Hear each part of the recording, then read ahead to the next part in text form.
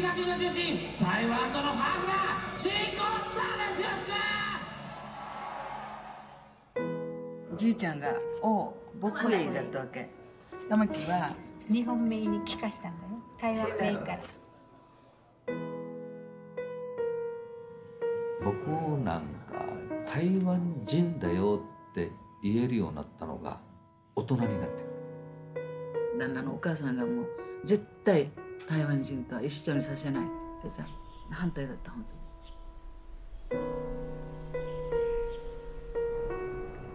やがて行くよ。どこに行くわあっちにさあっちってどこよ。最後にねもう一度台湾に行かしたいっていうのがあるわけです今回行かんともう二度と台湾の土踏み切れないよ。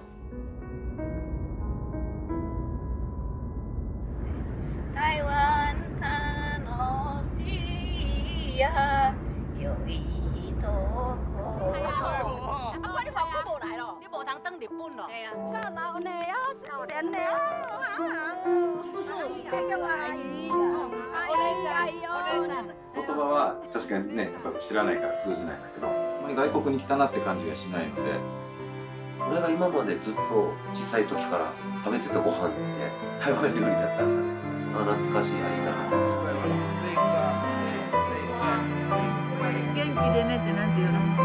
元気でね。お母さんは台湾語よく喋るのに話すけど私なんか聞くだけ聞いてこう自分で喋ろうっていうあれがなかったですね。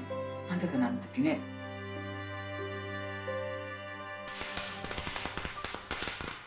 だからうちも私の時代だけよ私が死んだらもうやる人いないよ。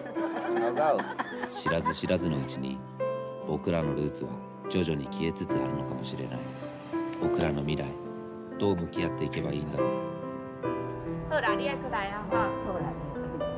いかにしてね。親戚が途切れないようにつながっていくようにね。